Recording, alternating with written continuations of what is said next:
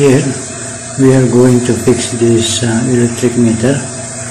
Uh, this electric meter is uh, three phase 100 amperes 380 volts. So this is the line 1 input output line 1 input line 2 output line 2 input line 3 in output uh, line 3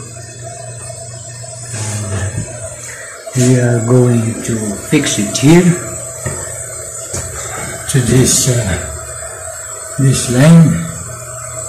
So that this uh, one line here will have a separate uh, meter for that and this one here.